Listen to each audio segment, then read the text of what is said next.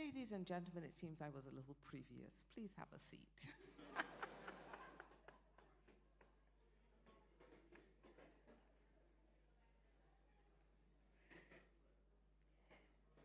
This gives you the opportunity for the people who didn't turn off their cell phone to put it on silent.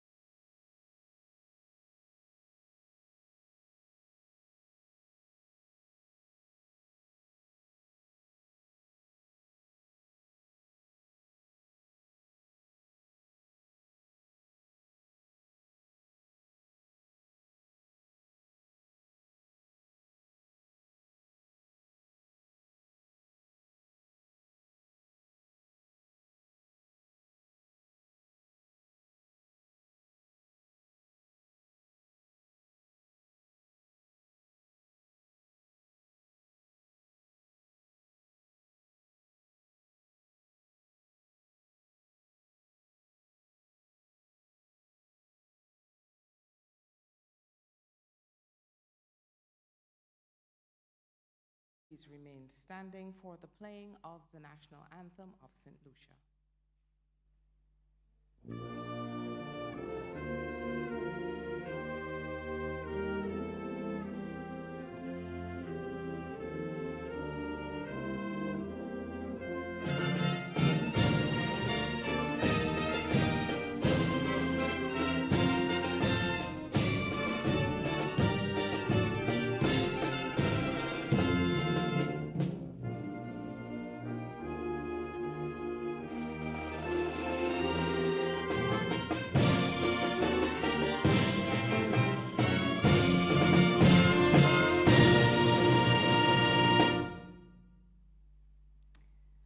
Please be seated.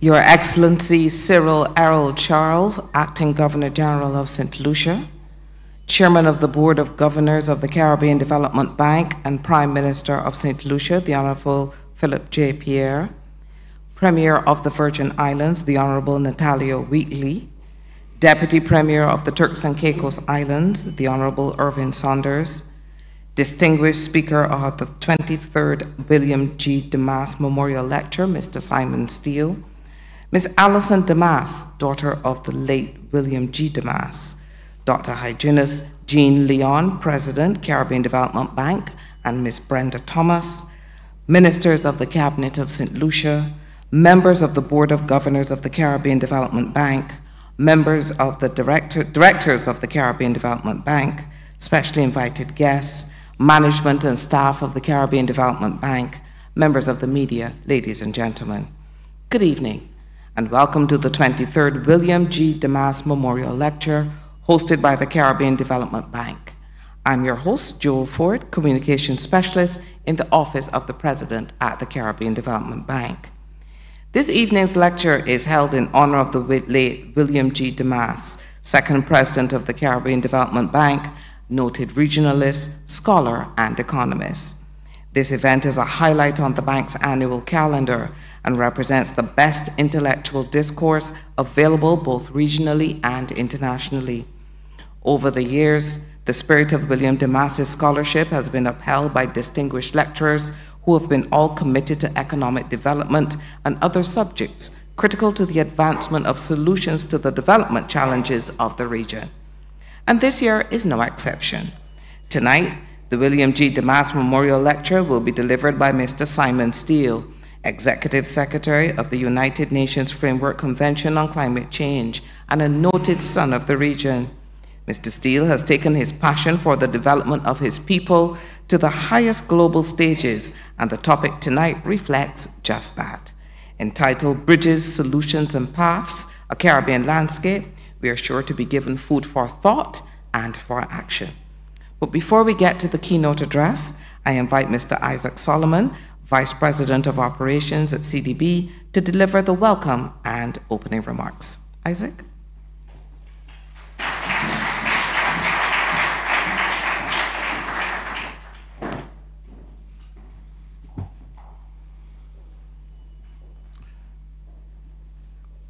Your Excellency Cyril Errol Charles, Acting Governor General of St. Lucia, Chairman, Governors, Directors, and specially invited guests. It is my absolute pleasure to welcome you to the Caribbean Development Bank's 23rd William G. Demas Memorial Lecture. I extend a special welcome to our guest speaker this evening, Mr. Simon Stiell, Executive Secretary of the United Nations Framework Convention on Climate Change UNFCCC. Being a son of Grenadian soil, I am sure you will not mind me declaring you also a son of our Caribbean soil.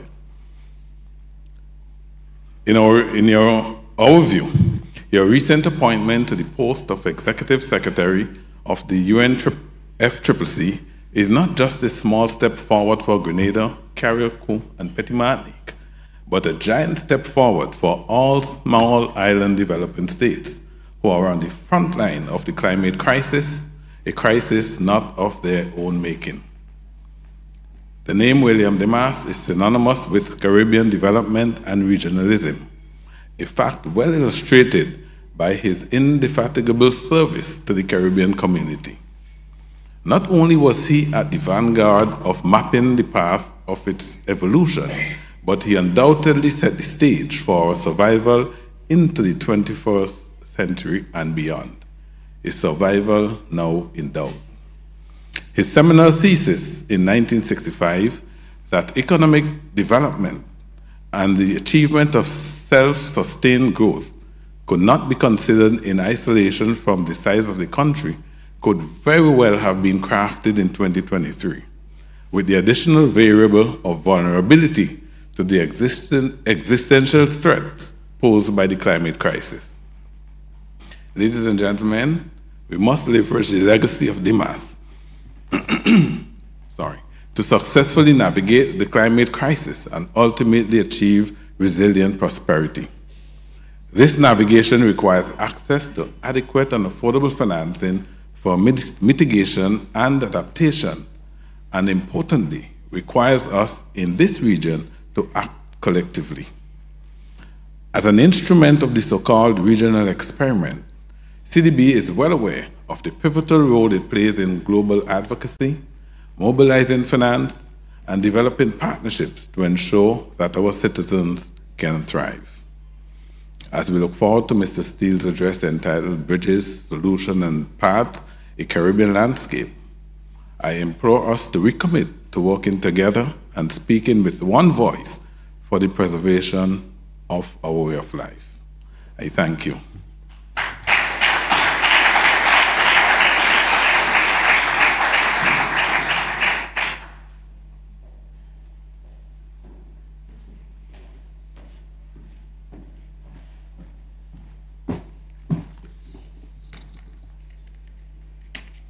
Thank you very much, Mr. Solomon, for those remarks.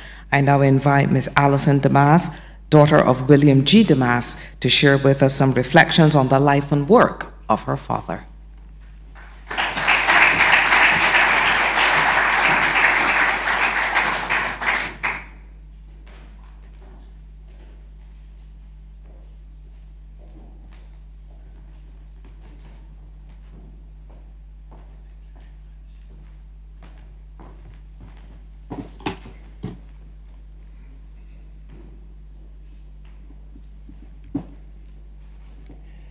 Acting Governor General of St. Lucia, His Excellency Cyril Errol Charles, Chairman of the Board of Governors of the Caribbean Development Bank, and Prime Minister of St. Lucia, the Honorable Philip J. Pierre, members of the Cabinet of St. Lucia, members of the Board of Governors of the Caribbean Development Bank, members of the Board of Directors of the Caribbean Development Bank, Dr. Hyginus Jean Leon, President of the Caribbean Development Bank, and Ms. Brenda Thomas.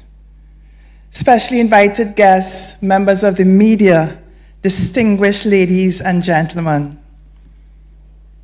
I feel very honored tonight on behalf of my mother and I to be able to share with you some personal reflections on the life of my father, William Demas. As we all know, he was a vociferous advocate of Caribbean integration. And in fact, he had a vision, I am told, by his lone surviving sibling, my Aunt Joan, that at age 14, he wrote an article, a letter to the editor, in fact, which was published in the Trinidad Guardian, in which he outlined his vision of a united West Indies and bear in mind, this was long before West Indian Federation was even conceived. And one thing I really admire about Daddy is that he practiced what he preached. And how did you do that? Well, he started by integrating with my mother, Dr. Norma Demas of Jamaica. And he was described by my husband's uncle, Selby Wilson, who was once Minister of Finance of Trinidad and Tobago, as the only Caribbean politician who never entered politics. Indeed, he did not care what side of the political aisle you were on. So whether you were Hugh Shearer or Michael Manley of Jamaica, George Charles, or John Compton of St. Lucia, Dr. Cheddi Jagan, or Forbes Burnham of Guyana. For him, it was important that he was able to convince them and persuade them of his cause. And it's remarkable that the respect they had for him, and I think that has to do with the power of his intellect and his deep commitment to the cause of Caribbean integration. His crowning achievement was no doubt in 1973, almost 50 years ago, at the age of only 43, when he played a very instrumental and pivotal role in getting the then leaders of our region to agree to the signing of the Treaty of Chaguaramas on July 4th, 1973. And in his lobbying, he was successfully able to get them to agree to the establishment of CARICOM and that the Secretariat be headquartered in Georgetown, Guyana. That took a lot of lobbying. Daddy never really cared about material things. In fact, I can safely say that his head was in the clouds long before cloud technology came into existence. As this picture will convey, he loved to wear, he didn't really care about appearances, so he wore what was comfortable, his trademark short sleeve shirt jack suit.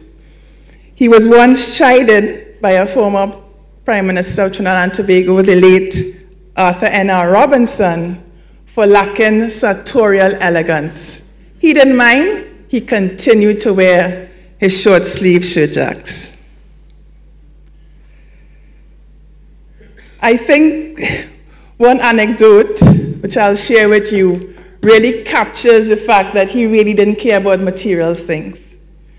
So apparently, the CDB's uh, finance uh, department once had difficulty in reconciling their accounts. And there was a surplus that they could not account for eventually discovered that the surplus was due to the fact that daddy had not drawn his paychecks for about two to three months. What was he like as a friend, Willie the friend? Well, his celebrated friend, the late Sir Alistair McIntyre, who we affectionately call Mac, and testimony to this friendship, very deep friendship, is the fact that in Uncle Mac's last book that was published a few years before he passed away, The Caribbean and the Wider World, he dedicated it to Daddy, who he described as a stalwart Caribbean scholar and public servant. He was my colleague and very good friend. And in that book, he describes their first meeting. It was in London, at the time, Daddy was working with the West Indies Trade Commission, which was headed by another great St. Lucian, Sir Garnet Gordon. And when they met at the Trade Commissioner's office, and I quote, we started chatting and had a marathon session that lasted over six hours. That session went beyond trade problems to encompass a virtual review and assessment of the development problems in the region as a whole. And I guess it's for that reason that Ewart Williams, who is pictured in this photo with Daddy and Uncle Mac, his back is towards the camera, as them being intellectual twins.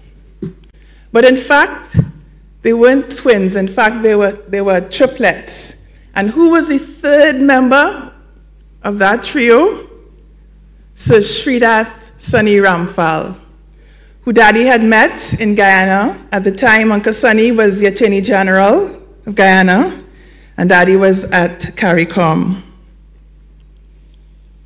And it is remarkable how the three of them, you know, thought alike and all of them were focused really on deepening and widening Caribbean integration. Another great friend was the late Lloyd Best, who knew Daddy from secondary school at Queen's Royal College in Port of Spain, as well as at University of Cambridge. They were together at McGill University in Montreal and at UWI. And this is how Uncle Lloyd described him in a beautiful, beautifully written obituary. Quote, he was a wonderful person to know, a raconteur, a wit, an encyclopedia when it came to the Zeppo, as well as the facts, current or ancient. What was he like as a husband? I asked my mom, you know, what was the attract- attraction to daddy? Because they are polar opposites. And she said it was his mind, that intriguing and deep intellect that she found so stimulating and refreshing. And why there, and perhaps I think their marriage gives credence, credence to the notion that opposites do attract. Daddy was notoriously unpunctual, unpunctual mommy always on time. For daddy, Monday could fall on a Friday. For mommy, everything had to be well planned and organized. Daddy's appearance was often quite disheveled. Mommy, as we say in Trinidad, was always, quote unquote, well put together. And of course, as we see in this wedding photo, 1958, there was the nine inch difference in height. But she is, in fact, the wing that was beneath his wings. She sacrificed what could have been a lucrative medical career to follow him all over from McGill in Montreal, back to Trinidad, to Guyana, to Barbados, back to Trinidad, to Jamaica, and back to his final resting place in Jamaica. That indeed is what you call love. Finally, lots of people ask me, what was it like having such a father? So, daddy was not the type of person to display affection. And in fact, certainly as a young child, I often missed his presence at school plays, piano recitals, swim meets. But later on, I began to realize that his love was indeed deep and strong. And most importantly, he instilled in me my strong sense of Caribbean identity. He inculcated the values of hard work and integrity, and the importance of having purpose and focus in your life. He also educated me, and I don't mean, you know, paying for my primary and tertiary education, but he educated me every single day. One of my favorite memories, I was about five or six with my childhood best friend, and we were jumping on his king size bed while he quizzed us on the capital cities of the Caribbean. And the more answers we got correct, the faster he encouraged us to jump on his bed. Until mommy came in and said, William, what are you doing? The children are going to break the bed. he also loved to dramatize history lessons, um, whether telling me about Sir Winston Churchill, Che Guevara, and the Cuban Revolution, just wide ranging topics. He spoke fluently in Spanish and French, uh, even though as a young child I really didn't understand those languages. And he loved music. Many a Sunday morning, I would wake up to Handel's Messiah, and he also loved calypso. Mighty Sparrow was definitely his favorite, and I have fond memories of listening with him to Obeah Wedding.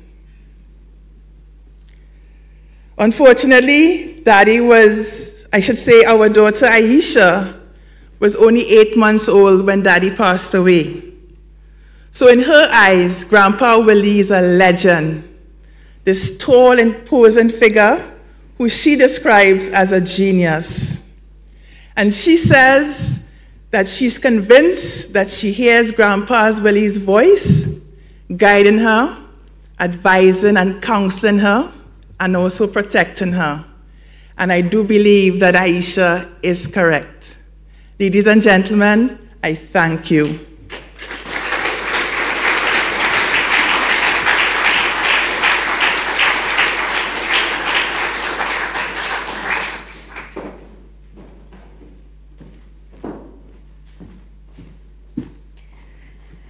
Thank you, Ms. Alison Demas, for those insightful and I must say emotional comments. You really made William G. Demas come alive, not just in our knowledge of him, but also in our hearts. Thank you once again.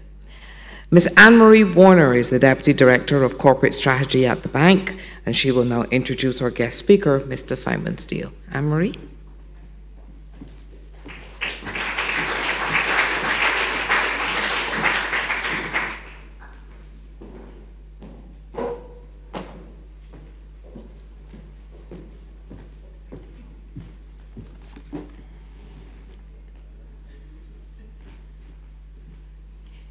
Your Excellency Cyril Errol Charles, Acting Governor General of St. Lucia, Chairman, Governors, Directors, and specially invited guests.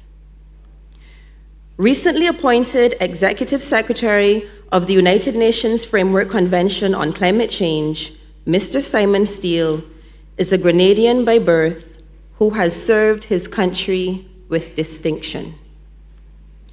Following an illustrious career in the private sector, spanning the technology and telecommunications industries, he spent nearly a decade in public service, managing several ministerial portfolios. Prior to joining UNFCCC, he served as Grenada's first Minister of Climate Resilience, the Environment, Forestry, Fisheries, and Disaster Risk Management. During this time, he led the implementation of Grenada's climate change policy and its national adaptation plan. Deeply concerned about the deleterious effects of climate change on his home country and the rest of the Caribbean, Mr. Stiell campaigned feverishly ahead of COP26, identifying it as a make or break moment for small island developing states, and imploring the international community to act. I think all of us in the Caribbean felt it when he told Sky News, I want more for my people. I want more for myself than just to survive. We need to be able to thrive. Undoubtedly, this is a conviction and energy that he has taken into the critical role he has now assumed. Mr. Stiell is a trained engineer and holds a Master of Business Administration from the University of Westminster in the United Kingdom. Ladies and gentlemen, I have the distinct honor of welcoming Mr. Simon Stiell to the stage to deliver the 23rd William G. Demas Lecture.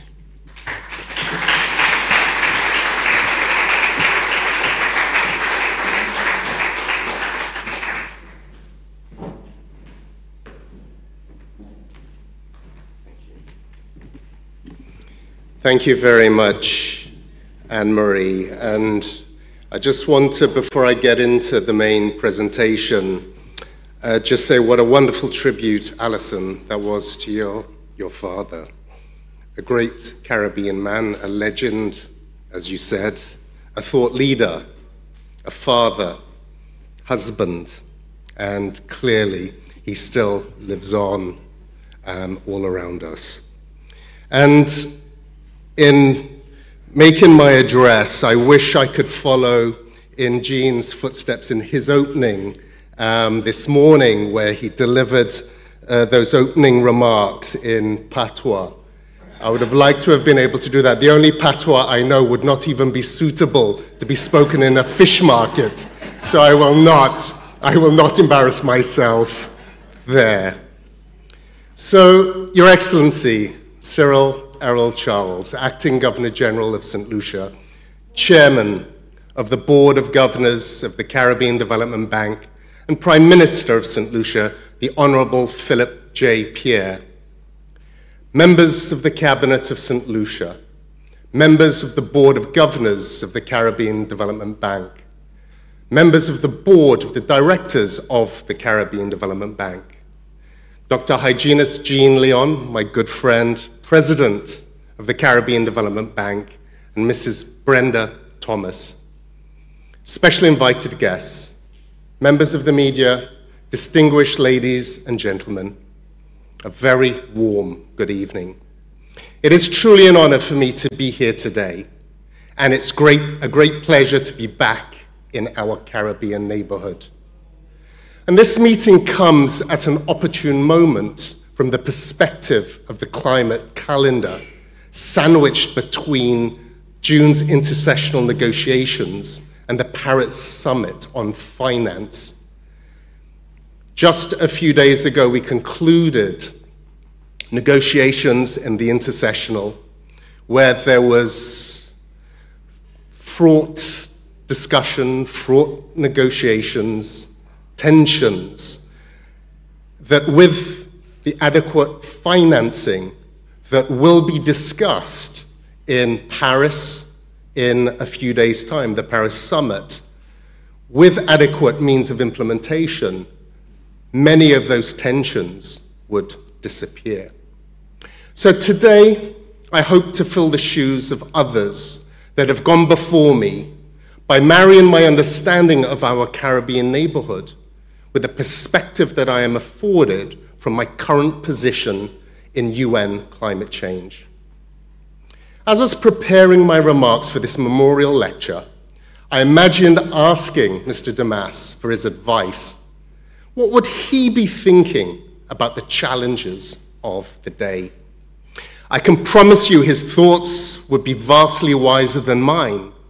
But today, I want to share with you a vision, a vision of our region and its impact on the world's drive to tackle the climate crisis, the forefront of the how. Our Caribbean region is perfectly placed to provide a bridge between divided international communities, incubate solutions, and chart a path forward which others could crowd in behind. As you all know, Mr. Demas was renowned for being a strong and passionate advocate for the Caribbean integration movement. He saw that as a region, when the Caribbean united, it was stronger. As a brilliant economist, he understood the central role of finance in determining the options available, providing the freedom to choose one's own path towards a just and prosperous society.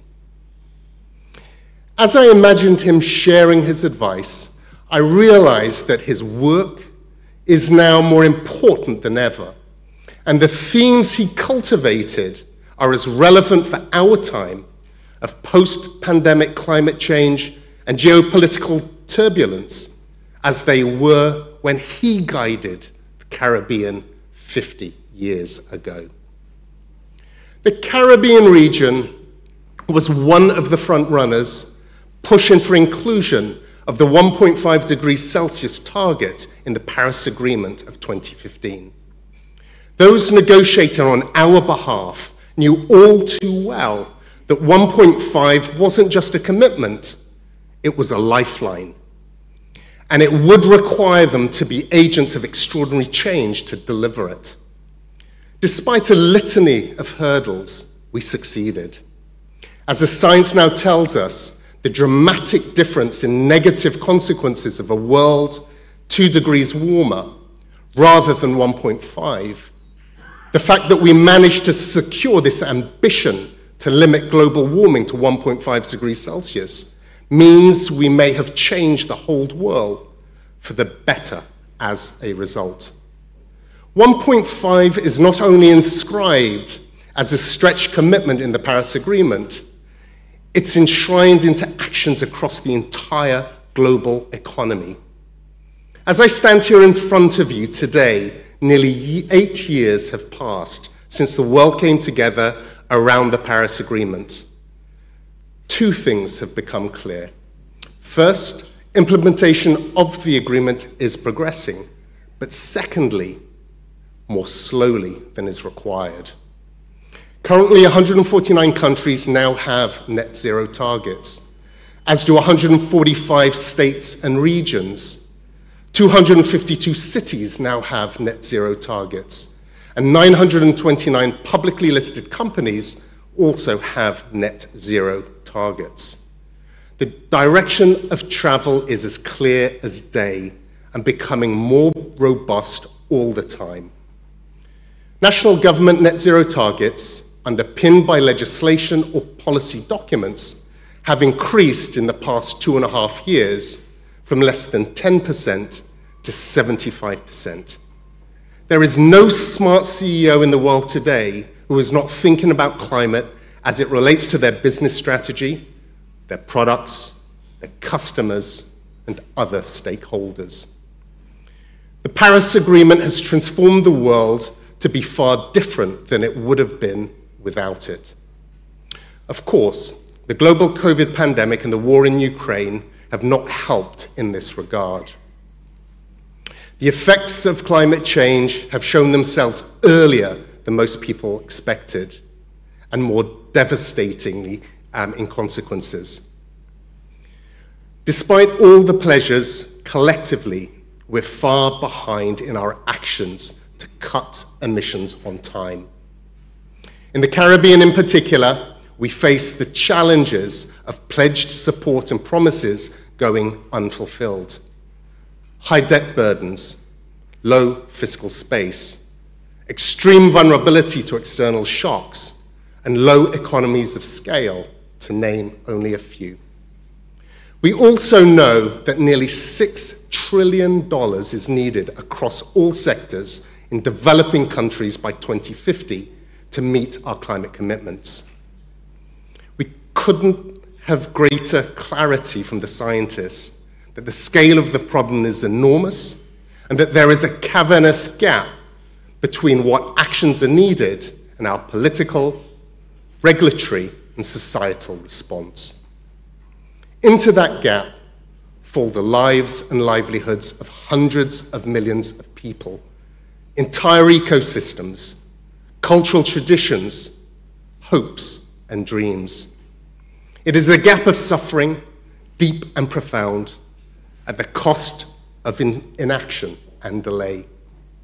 Yet our scientists are telling us that reaching the 1.5 degrees Celsius ambition is still possible but the window of opportunity is narrowing quickly. This is where I see my work marrying up with the vision of Mr. Demas.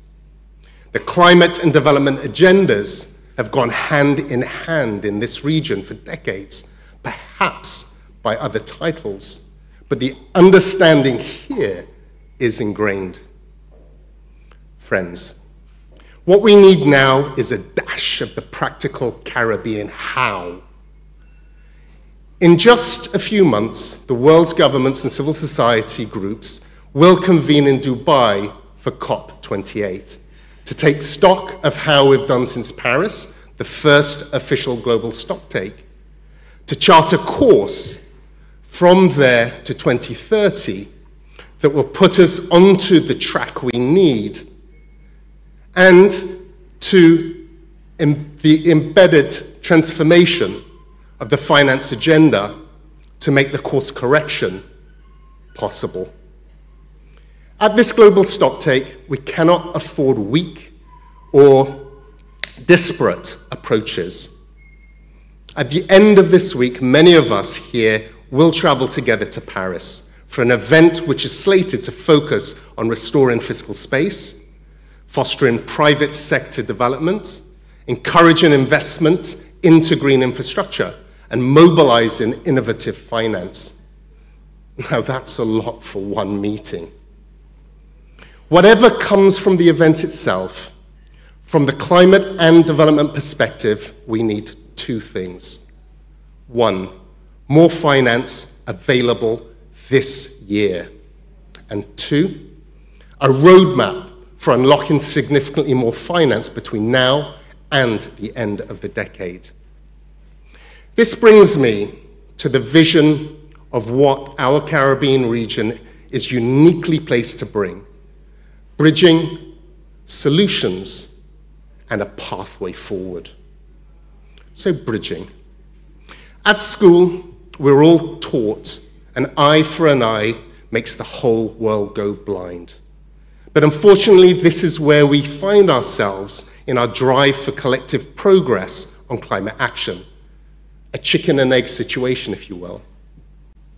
There are countries within the negotiating arena who see it as their role to hold up progress in negotiations and refuse to take action at home until sufficient finance is delivered to support it. There are others who refuse to provide all the finance promised until they see meaningful action is being taken elsewhere. Here's the thing action has to be taken, and it has to be taken by all now. To take action, you need finance as an enabler. So both of these things have to happen, and they both have to happen right now. As I said in my closing speech in the June intersessional negotiations in Bonn at the end of last week, climate change is not, is not a North versus South issue. But we need a proactive bridge between the two. Voices which can champion a progressive third way. A third way which delivers for those that need it most. That means action and provision of support to enable further action in an upwards iterative spiral. Voices which hold space for sensible and progressive action. Progressive alliances tend to be issue specific, finding it easier to build common ground around one issue. May that be mitigation action or the importance of certain ecosystems. We need to build common ground across issues, a package of action which will ultimately deliver for all of us. In the Caribbean, we're uniquely placed to understand what this needs to look like, having experienced climate impacts for generations, consistently responding to change by building our communities around principles of growth, global in integration and sustainability with one eye constantly on self-sufficiency. With our limited resources, we know the struggle of what it takes to keep the lights on, our cupboards filled, our children educated, and opportunities for resilience building taken. We are practical people. We can provide the bridges between approaches which provides the space for more ambition on all issues globally. Speaking of which, it was small island developing states under the leadership of Antigua and Barbuda as AOSIS chair, which helped land the definitive outcome of a fund and funding arrangements for loss and damage, a disagreement which had plagued the negotiations for years.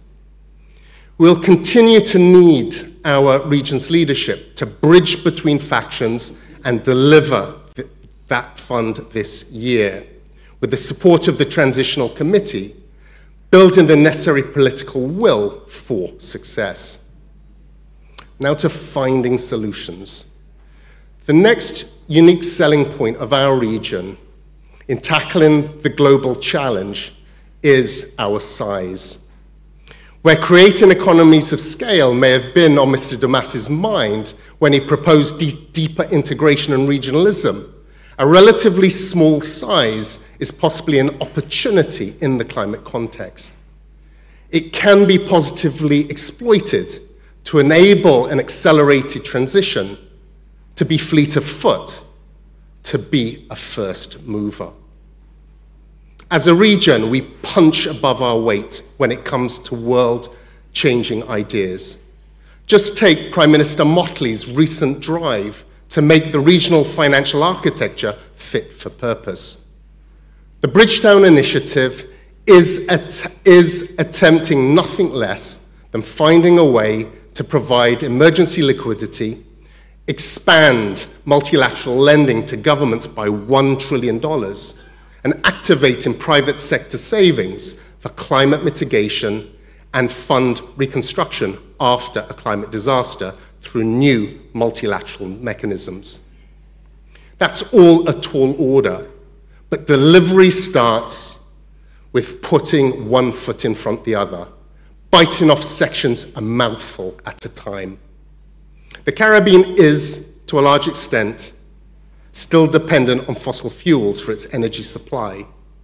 But no one wants to be beholden to the international price of oil and gas. Solar and wind are cheaper than ever before. They make more money and pay back far faster than fossil fuels. Energy production globally is shifting from a concentrated, expensive, polluting, commodity based system to an efficient, manufactured, technology driven system that offers continuously falling costs and is available everywhere. The world will add a record 440 gigawatts of new renewable capacity this year, double what the International Energy Agency predicted in 2020. For the first time this year, renewables are eaten into the energy market share. Solar is attracting more capital than oil. We cannot end fossil fuel use overnight, but we need to put a plan in place for its accelerated replacement by renewables. Globally, a rapid but phased and responsible transition away from fossil fuels will bring a raft of benefits to populations and societies. National governments and non-governmental organizations are already piloting and implementing new financial instruments and other financial products to support more effective mitigation, adaptation, and responses to loss and damage. Take the example of the blue bonds Barbados and Belize have already invested in. These effective instruments, in which expensive debt is swapped with debt at a much lower coupon, result in reduced public debt. They ensure precious coastlines that protect the region from climate impacts, that benefits the region's economies and its people's well-being, are set aside to be conserved. Ecuador, not far from here, has just swapped $1.6 billion in bonds for a new $656 million um, loan in the biggest debt for nature swap in history. But it won't be the biggest for long. And there is no better positioned region than the Caribbean, along with other small island developing states, to further pioneer innovative financing approaches for managing the climate crisis and buffering against further loss and damage. Meanwhile, regional risk pools and insurance providers are already considering opportunities to offer new products and increase accessibility to their services. The Caribbean Climate Risk and Insurance Facility provides insurance for Caribbean and Central American governments the fisheries and utilities in their short-term recovery from climate impacts. And look at Jamaica's innovative uh, uh, catastrophe bond, which secured $185 million of disaster insurance protection with the assistance of the World Bank and the IBRD Capital at Risk Notes program. This type of financing can help ensure the region isn't completely economically devastated when the next big hurricane hits, but rather is better prepared and more resilient. We are providing the test cases for other small island developing states and regions to build from. We must use our scale as an advantage to explore ideas and, dare, dare I say it, fail fast. We will not meet the scale of the challenge we currently face without testing options and testing them at pace. Now, I am aware that this is not the normal message to give to a room of prudent bankers. But I'm not here to provide reassurance. I'm here to provide the warning of what will happen if we do not lean in. My message to multilaterals and international financial institutions is how important it is to shift our focus from just de-risking projects to de-risking sectoral level finance to better enable the necessary investment flows into the region at far greater scale. We know better than most the inherent bias that can exist in international systems. Those systems that don't understand investing in developing countries. Those that consider it to be more difficult than it really is. Bias doesn't just change through education alone. It also changes through demonstration. This is my plea to you to document and share what you're doing. Don't be quiet about either your successes or your failures. This requires a new approach by the international financial community, the difference between the real and perceived risk costs. With a competitive cost of capital that enables the levels of investment flows required to support the region's transition and development. We simply don't have time not to. So now to chart in a path. You only need to listen into conversations between our youth on the block or those who frequent our rum shops here in the Caribbean to quickly realize how we can cut through the noise and get straight to the point. The international multilateral system needs clear voices which can unravel confusion and chart a way forward. I want to give you a very simple but powerful example of this.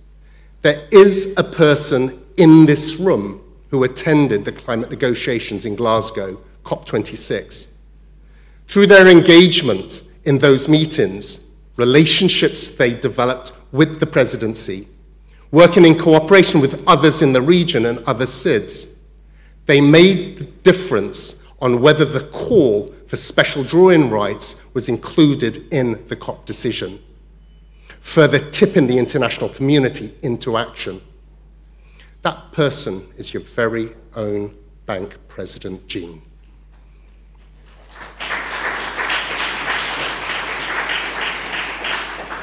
So I personally vouch for the effectiveness of all of his travels. At the recent spring meetings, I found myself looking around a room full of eminent persons, and I noticed something interesting. I noticed a clear convergence of language in the room around the global financial architecture, both identifying the problem and what's needed to be done to fix it. That is a distinct positive shift from where we were even a year ago. But the next thing I noticed was the problem. Each person pointing fingers at each other to start, rather than pointing fingers at themselves. That approach may eventually get us to where we need to, but I can't guarantee you it will be, it will be in time. More than grand statements, we need people to roll up their sleeves. We need people willing to sit together in a room for as long as it takes to figure out the how. How we're going to get from point A to point B.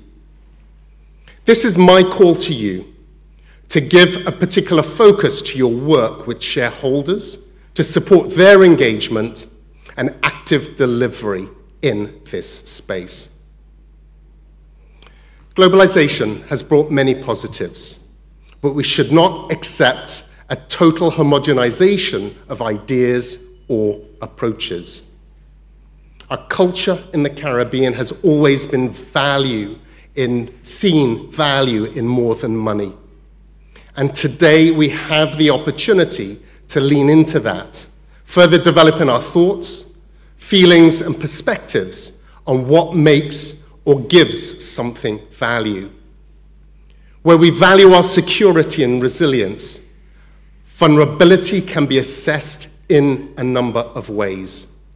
Building a collective vision of accepted ways to judge value gives us the opportunity to be better measure progress from each of our context specific baselines. The region can chart a path by testing and incorporating these approaches without having to wait on others who might be wedded to the more traditional methods. It will take courage and creativity to unite and to break through the obstacles in our way. But our region has the character of spirit required. With the beauty of nature ever present on our islands, with the joy and resilience of humanity so self evident in its people. The Caribbean is the region that can make the difference now in this moment of consequence. It's done it before, and it can do it again. Today, you are the ones at the heart of that story. The way forward is yours to design. So build bridges, find solutions, and chart the path forward. I thank you.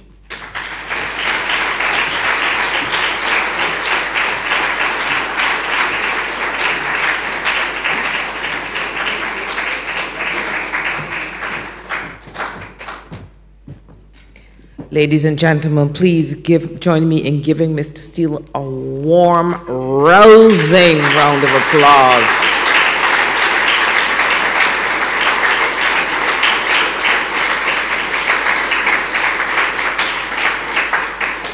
The thing I loved about his lecture that was he put it in words that all of us could understand and that we could all understand the urgency of this cause if we want to preserve this Caribbean land that we all love so much. Mr. Stiell, once again, thank you.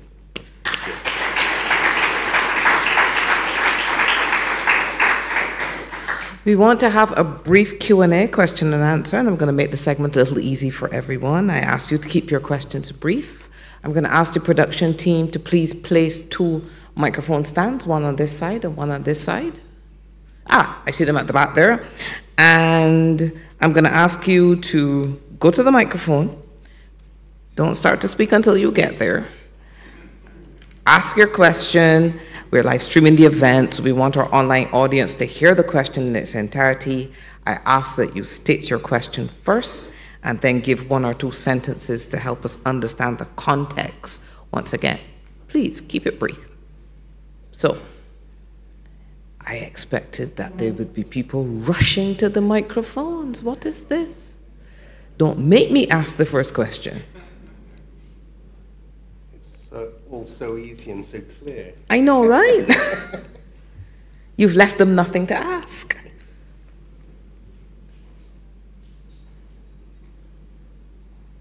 Well, if I know there's one person who's going to have a question in this room, it is going to be the president.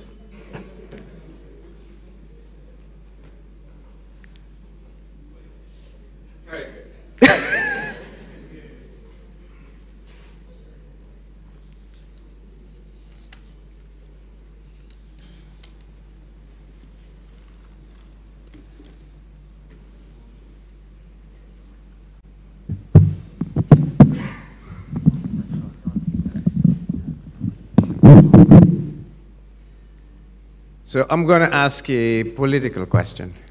You're going to get me into trouble. I think we've all agreed 1.5 to stay alive is the minimum that we have to do.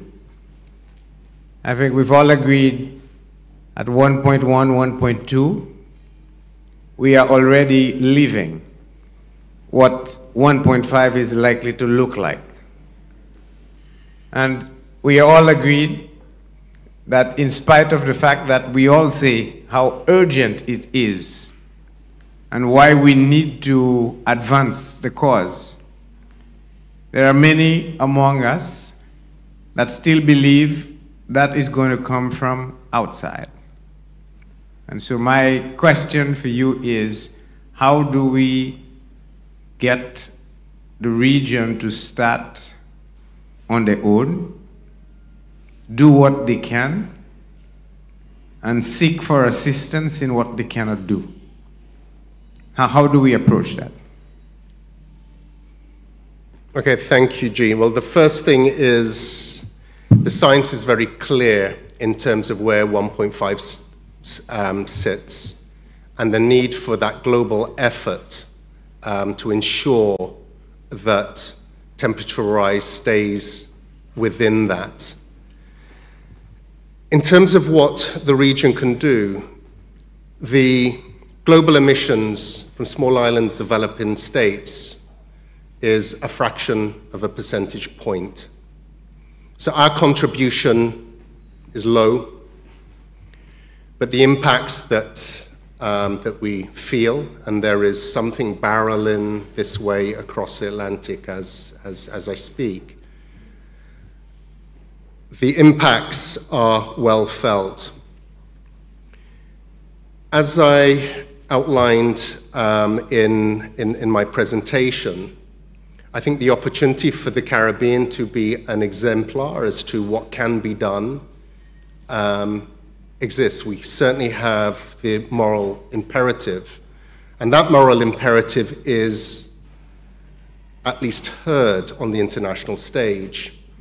The piece that is missing are the resources and the assistance that is required to enable us to do the things that we need to do to mitigate, but as I said, the contribution there is, is limited in terms of global emissions.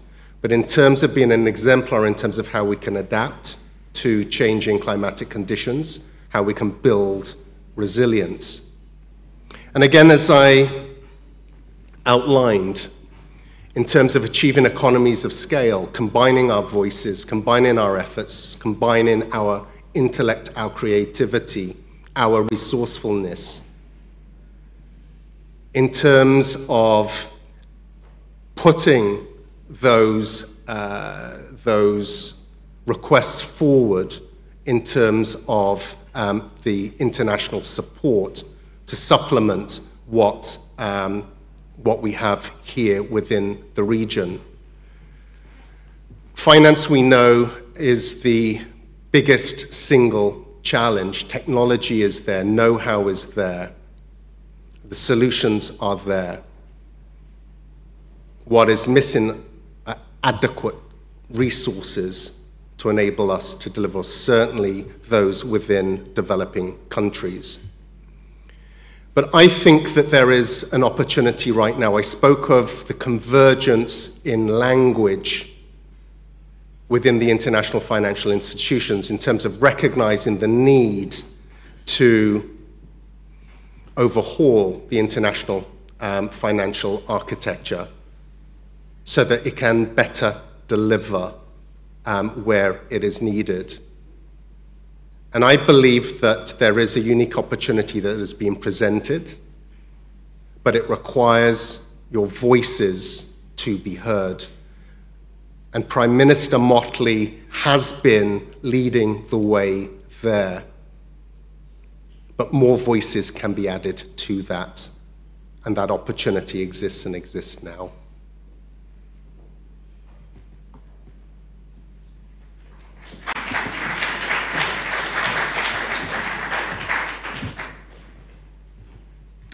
Thank you very much, Mr. Stiell. Any more brave souls gonna come to the mic?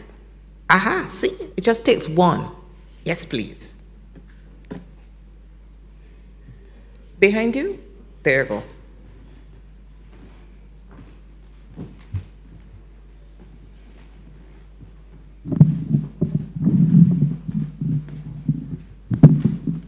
Thank you very much. And Simon, my question is very simple. We all left Sharm el-Sheikh, Egypt at COP, um, buoyed small island developing states, particularly those of the Caribbean, by the decision to establish the Loss and Damage Fund. And I remember we had a meeting with you on the margins of COP, and we implored you to do whatever is necessary within your powers to ensure that the loss and damage fund does not become another GCF, where it is extremely bureaucratic and difficult to access monies for adaptation and mitigation. What can you tell us as Caribbean tonight that is happening on the eve of COP Dubai to allay the fears of those of us in the Caribbean who work in the climate change sector as it relates to the loss and damage fund? Oh, well, thank you.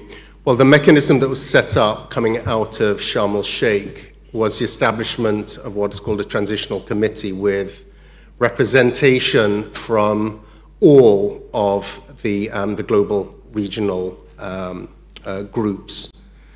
And they've been tasked with coming up with concrete recommendations that will be presented in Dubai at the end of this year as to what um, will be required and what decisions need to be made in establishing um, both the fund and the funding arrangements.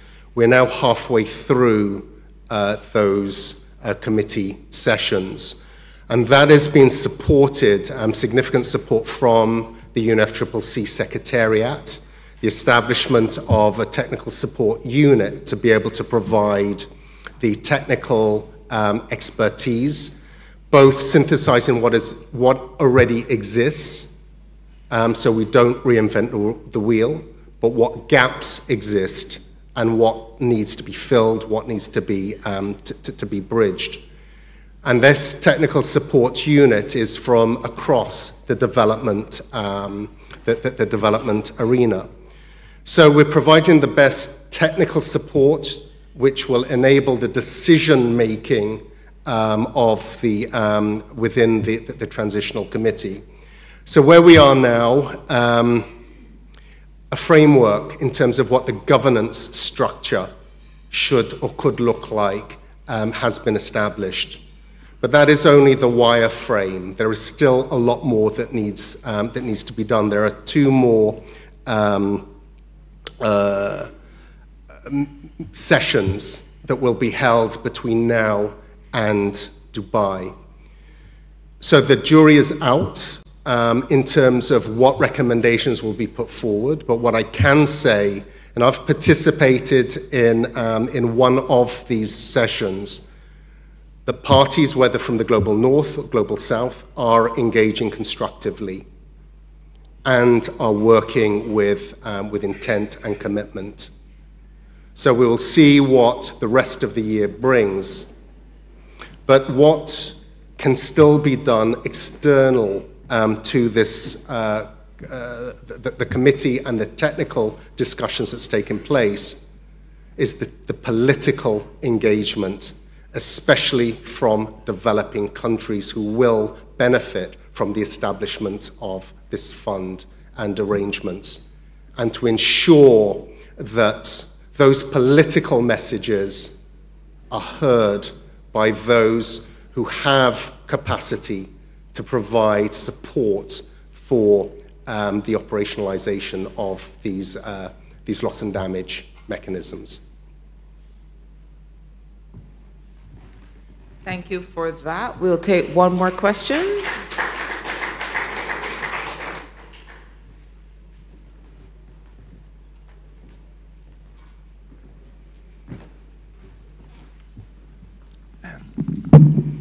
And just um, want to ask, um, today the President, uh, Dr. Gene Leon, mentioned the, the, important, the crucial role of private sector in development.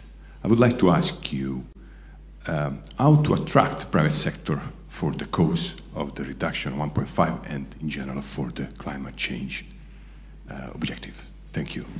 Okay, well, there are a couple of things that immediately spring to mind it is understood that in terms of public finance resources to achieve, what is it, the $6 trillion um, of investment that's required um, between now and 2050 in the developing um, world, that public funds alone will not be enough. So there's been a lot of discussion about how public funds the limited public funds can leverage and attract um, private capital um, that is needed.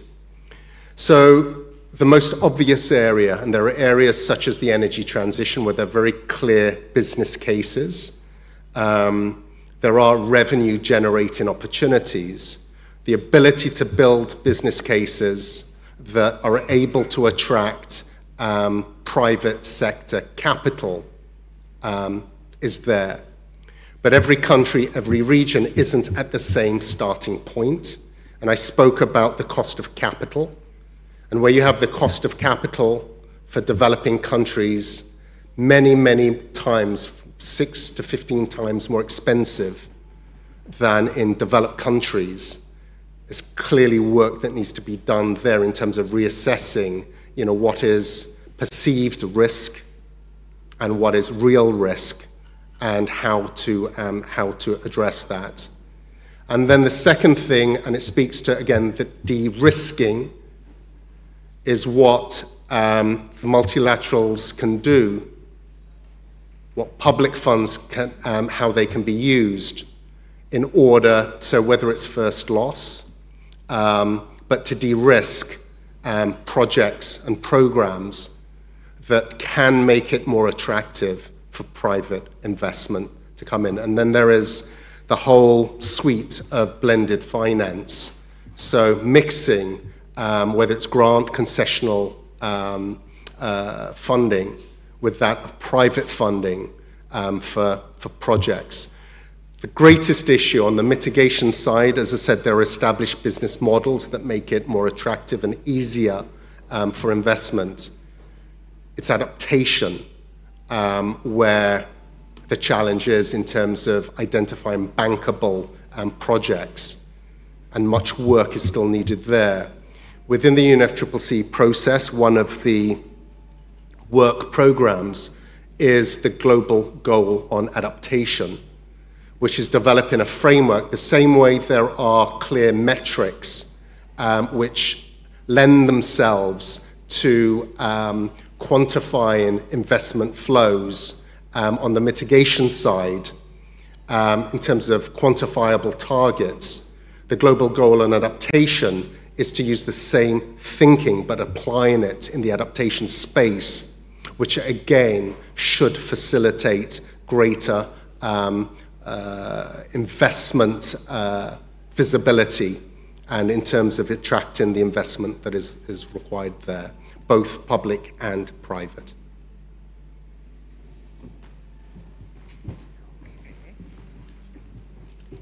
Thank you very much, Mr. Stiell. Ladies and gentlemen, please, let's put our hands together for another big round of applause. Bigger than that, bigger, larger, yeah for our keynote speaker, Mr. Simon Stiell, the Executive Secretary of the United Nations Framework Convention on Climate Change. Thank you so much. Thank you very much.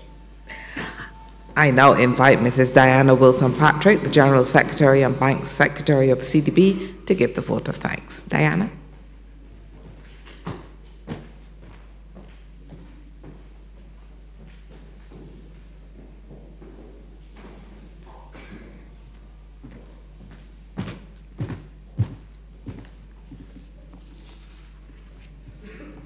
His Excellency Cyril Errol Charles, Acting Governor General, St. Lucia, Chairman, Governors, Directors, and specially invited guests. My task tonight is a simple but very important one, and that is to express our gratitude to those who have made this event a success. I start by thanking Mr. Isaac Solomon, Vice President Operations, CDB, for his keen opening remarks, and Miss Alison Demas for the heartfelt reflections on the life and work of her father, William G. Demas, the second president of the Caribbean Development Bank, and the person who inspires us each year to great things. I also extend thanks to Ms. Anne Marie Warner, Deputy Director of Corporate Strategy at the bank, for introducing our guest speaker. And so to our main event, a special, very special thank you to Mr. Simon Stiell, Executive Secretary of the United Nations Framework Convention on Climate Change, for delivering the 23rd William G. Demas Memorial Lecture. The title, Bridges, Solutions, and Paths A Caribbean Landscape, was a mystery to me when I heard it, but Simon really made it come alive. The attendant subject matter was timely and intuitive, dovetailing as it does with the bank's own initiatives and the directions for development in the region, and of course, the urgent need to access affordable financing. Thank you to Sandals Grand Resort for hosting us and working with our team to make this event and other activities surrounding the bank's annual meeting a success.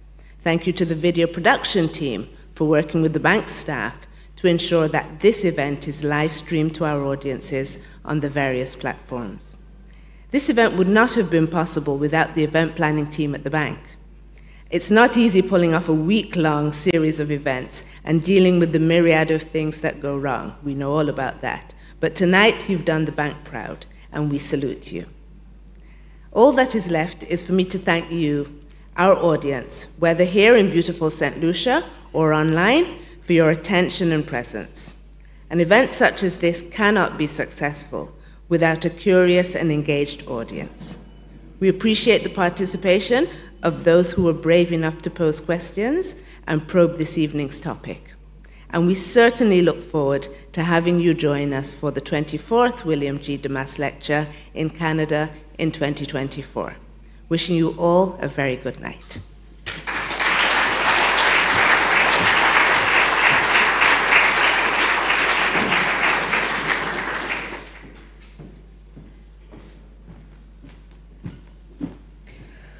Ladies and gentlemen, that brings us to the end of this 23rd William G. Demas Memorial Lecture.